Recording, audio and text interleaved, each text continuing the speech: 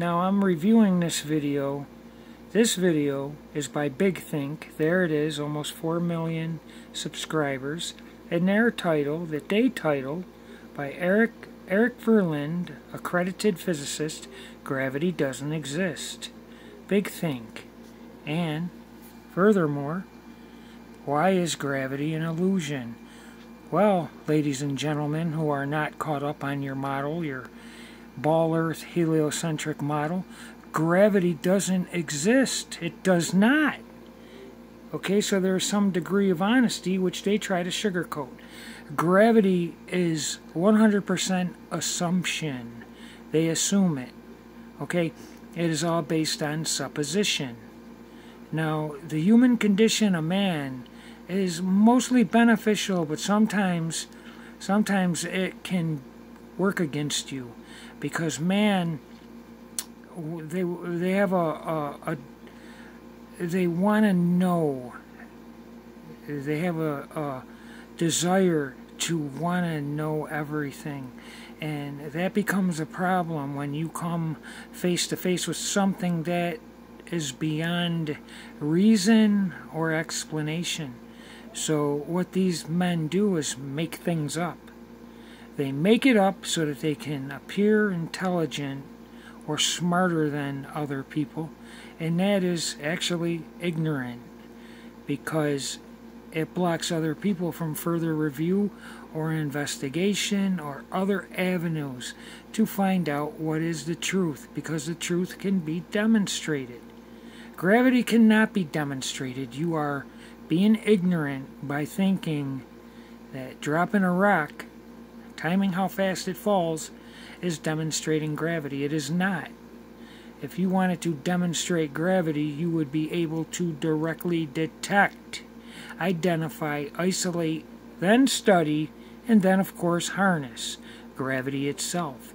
There is no gravity itself, and that's the problem if you or if gravity were truly doing all the things we are taught it does, it holds, pulls, or curves every person, place, or thing to the outside surface of a giant spinning ball, and even more, assembled that ball, every star, every other one of your planets, moons, asteroids, nebula, after the Big Bang, with some power of attraction, it would require presence and substance of gravity itself.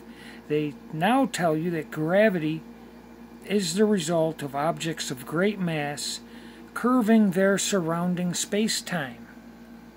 Okay, well, after the Big Bang, there were no objects of great mass to curve their surrounding space-time to produce gravity. Okay, so that's a catch-22 conundrum illogical. Okay, to sit there and say that the big giant spinning ball Earth is curving its surrounding space-time and that curve, curving of space-time is what produces gravity that curves everything to the center of the Earth. Okay, well, they also teach that gravity assembled the Earth after the Big Bang, and every star, planet, moon, and what have you, and their infinite and expanding vacuum universe. So, if an object of great mass is what curves space-time to produce gravity, what objects of great mass were present after the Big Bang? Now, let's listen to this guy admit that gravity is an assumption it is based on supposition that in between the moon and the earth, which is what leads them to want to ask, how does that work? They look, they cannot explain it, so they make stuff up. I mean, gravity, of course, is something that has, uh, well, many people have already thought about it. It's something that we see every day, and it's not like it's uh, not existent in our every life. But well, if what he said was true just now, something we see every day, then uh, he would stop right there and he'd be done. But that's not true. He's being intellectually dishonest, which you will see. What I mean by that it's an illusion is that uh, one would eventually like Let's start that over. Something that we see every day, and it's not like it's uh, not existent in our every life. But what I mean by that it's an illusion is that uh, one would eventually like to know where it comes from, an explanation. Yeah, and again, that's because there is no gravity itself to trace back to an origination. There is no presence in substance of gravity. That's the conundrum this guy faces while in the hot seat. I don't even know if this video was supposed to be on gravity. He might have been presenting something else and someone asked him about gravity because he seems, doesn't seem too happy. You know, like he's in the hot seat. Well, let's continue with what this guy will admit. In truth, if you listen, if the truth is of any merit to you, you will see. Uh, up to now we have well, descriptions in Newton, of course, is the, the, one famous for, for first writing down a theory of gravity. And uh, he could describe why apples fall and, and, why the moon goes around the Earth using the same uh, basic equation for gravity. But um, he described it. Uh, he had to assume that gravity was there. Okay, that's right. All we have, all they have, are descriptions. They have to assume gravity and then try to, to, to describe it. But the problem is that there is no force, power, or thing, no presence or substance of gravity, no current, field, wave, beam, ray, or a particle of gravity. Okay, it is all assumption and supposition. And that should be a problem to you proponents of gravity and a big giant spinning ball earth that would require nothing but gravity to have existed itself and to maintain trillion a trillion gallons of water in the Atlantic and Pacific Oceans to stop it from floating away, which is what they say would happen if we didn't have gravity. Everything would float away. So there would have to be presence and substance of whatever gravity is a power, a force, a thing, energy, of which there is not one iota of presence or substance of gravity itself. And uh, then, then Gulp. write down a, a, law that describes that when two masses are at the same yeah. distance, how they attract each other.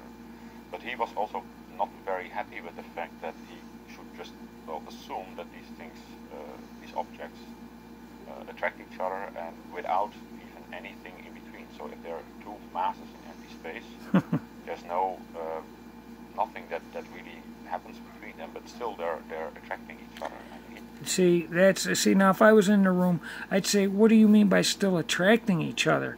There's nothing there in between them. There's no presence and substance of current, field, wave, beam, ray, or particle." Uh, no exchange of any current, field, wave beam, ray, or particle, no interaction, no nothing in between these two objects. So, why, how could you assume anything? How could you concoct or conjure something that cannot be demonstrated itself? He thought that was kind of uh, mysterious and, and that was mysterious. he would have liked to explain better way.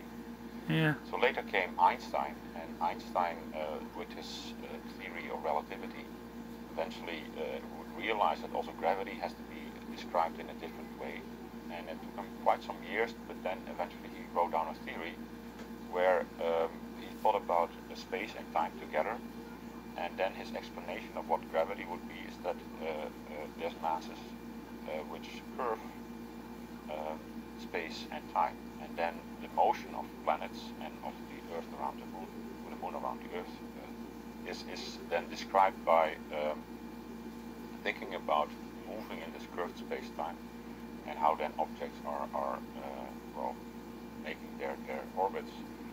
And the reason they go around then in circles is that um, that space and time itself is curved in the sense that things don't move in straight lines anymore, they, they, they go around that was his explanation, but he had to write down uh, equation for it, uh, which again assumed that gravity is there because he, basically wrote down that, that uh, matter uh, curves uh, space-time. Um, so in a certain way, that's still uh, a description, description, or you, what I should say is, well, one would like to understand again why uh, this description sort of, uh, well, how, how you can, can understand it from a more basic. Point. No, he. It's obvious that this guy did not prepare, or he would be saying other things. He's he's doing everything he can to avoid not mentioning presence and substance of gravity itself. Okay, that's what this is about. This guy, look at his face, looks like he's either flushed or drank a 12 pack. He's probably sweating bullets. And it's you, this is one thing a physicist does not want to be caught on camera doing, answering questions about gravity. Okay, because gravity is the foundation of the entire heliocentric model. When you start admitting that there is no presence and substance of gravity itself, it's made up, and that's what he's saying. He's trying to say it in an intellectual way. And, and people who watch this video of mine will fight, kick, scream, and even bite if they could because they don't want to realize this. Because to realize this means that your whole model is going to smash and crash and hit you in the head. Okay, to me, people ask me, why do you put so much emphasis on gravity? Well, they, you put so much emphasis on it. You make gravity a god you say that gravity assembled everything we look up, not only what we're standing on, but it assembled everything in the sky the sun, the moon, the stars, all your other planets, nebula, meteorites, asteroids.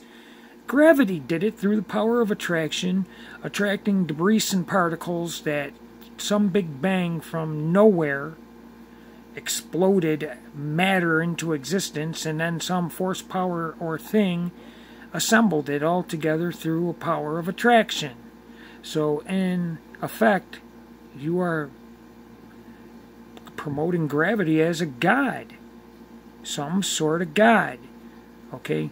When you really listen to what this guy's saying, the only way in a logical manner you can continue to believe in gravity is to do so by faith.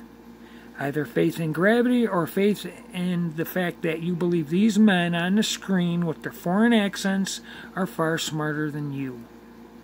Now, it is illogical to believe that gravity could do all these things, but not express or exhibit one iota of presence or substance of itself doing it.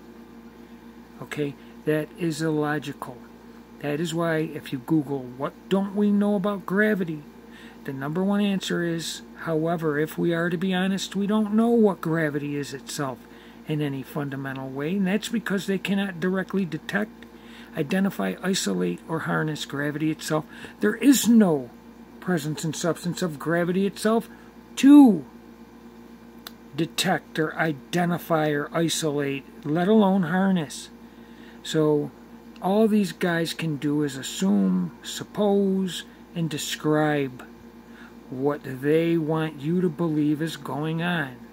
In my opinion, it's okay to say, we don't know how the moon maintains its altitude or height, or if they want to call it an orbit, whatever. It's, it should be okay, but you cannot throw something on it and then teach that as a fact when it's not. It is clearly not a fact. Rewind what this guy is saying. They can only assume that it's gravity. They can only suppose and then describe and make up symbols to make equations. It's uh, mathematical symbol is the same as language. It's just symbols representing a G for gravity. That does not mean it's real. Okay?